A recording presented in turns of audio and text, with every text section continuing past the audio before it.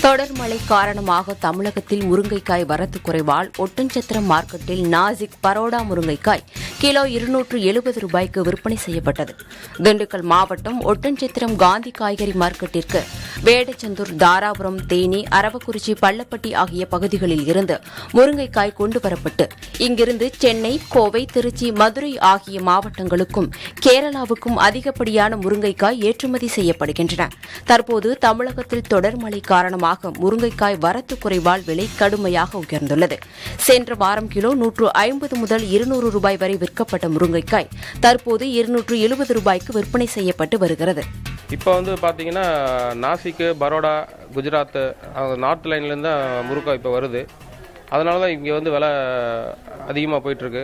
போன வாரம் பார்த்தீங்க போன வாரம் நூற்றம்பது ரூபா இரநூறுவா ரேஞ்சில் இருந்துச்சு விலை. இப்போ இரநூத்தி எழுபது ரூபா இருக்குது அந்த நாசிக் முருங்கா பரோடா முருங்காலாம். அங்கே காய் வரவு அதிகமாச்சுன்னா இங்கே கொஞ்சம் விலை குறையும். அந்த முருங்காய் வந்து இப்போ கேரளா லைனுக்கும் தமிழ்நாடு கேரளா அங்கே தான் சப்ளை ஆகிட்டுருக்கு